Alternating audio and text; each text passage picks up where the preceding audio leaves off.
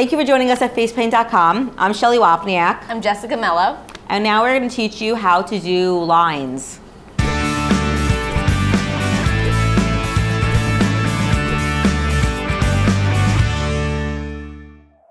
So the secret behind lines, keep your brush loaded with paint and keep it level, straight and up.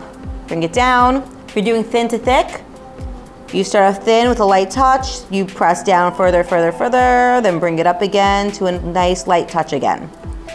I will demonstrate on Jessica. It'll look a lot better, I promise. All right, thank you for tuning in. We are going to demonstrate how to do some lines. We're gonna use a few different brushes to show how it looks differently based on the brush or the size of the brush, starting with a number five swirl.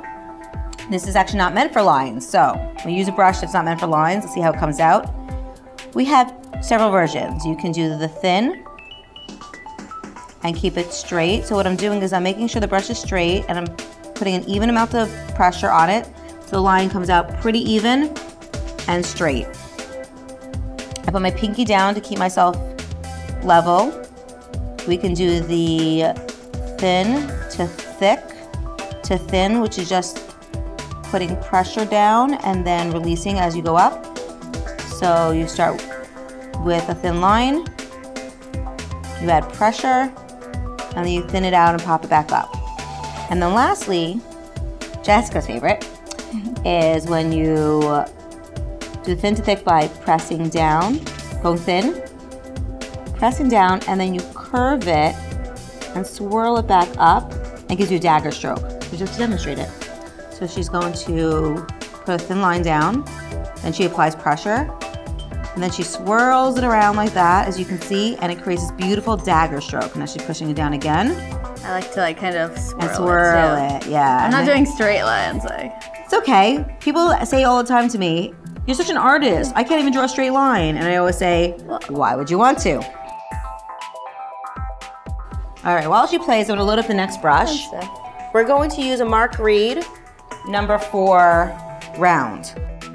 So again, we use our pinky for leverage and we're gonna go thin, press down, and thick. And the same, and the whole time, and thin again. And the whole time you keep it straight. So this with the Mark Reid brush, you can see the difference already, I think. Um, you can keep it straight and level.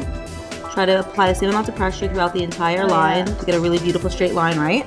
All right, so I'm gonna attempt Jessica's favorite press and swirl up to get that dagger stroke, but now she's gonna demonstrate it. Beautiful. Okay, while she does that, I'm gonna load up my Paradise Makeup 810. So you get a really thin brush for detail. And you can make a nice straight line. Again, keep it level, keep it straight. And this one works really, really fantastic for straight lines, as you can see. It's great for outlining, it's great for control, it's fantastic if you want to get really fine details.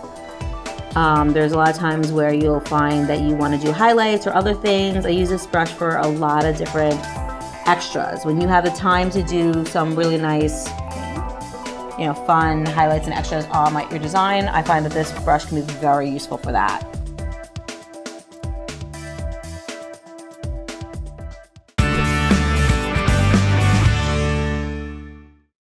Thanks again for joining us at facepaint.com. I'm Shelley Wapniak. I'm Jessica Mello. Like us, share us, and uh, please come back.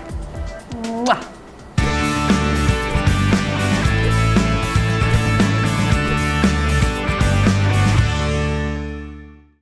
Boop, boop, beep, boop, bop, beep, bleep, bloop, bleep, bleep, bloop. Oh, did you? okay, we're ready.